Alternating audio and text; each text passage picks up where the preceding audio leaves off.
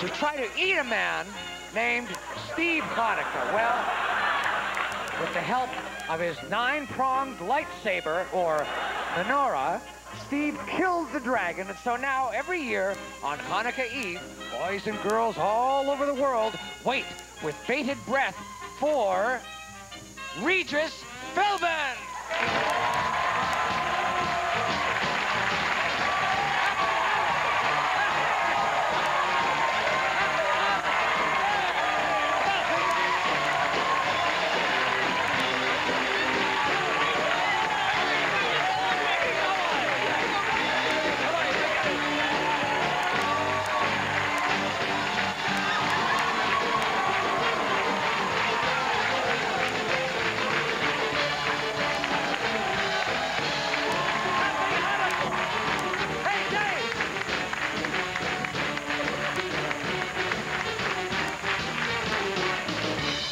Right, that's pretty good. So happy Hanukkah, everybody. That's happy good. Hanukkah. Thank you.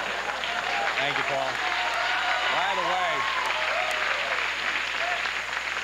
I appreciate that, Paul. Nice job. And uh, you, you can send uh, any outraged letters of complaint to Regis Philbin in care of Live with Regis and Kathie Lee, 1697 Broadway, New York, New York, 10019. There you go.